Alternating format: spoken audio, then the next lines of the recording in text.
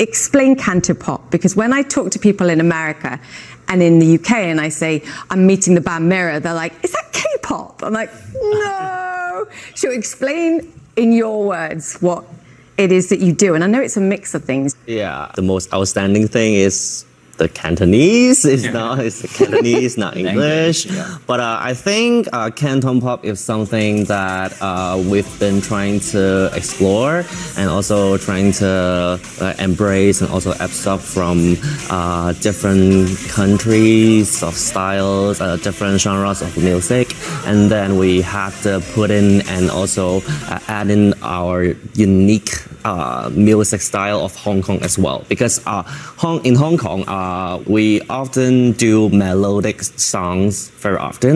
So I think that's a mixture of those things together.